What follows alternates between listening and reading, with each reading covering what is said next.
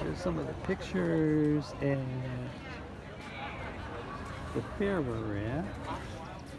Some of the pictures.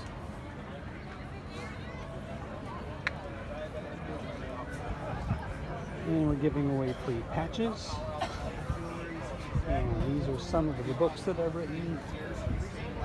The children's program that's endorsed by the Girl Scouts for a patch. Transitions is for any transition, not just the final one. These are great book on canine massage and senior dogs have special needs. Here's some pictures of our pool.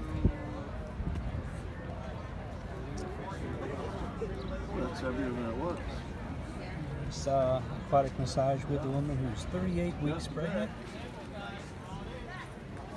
There's a cat that's not pregnant. and a dog in hospice care.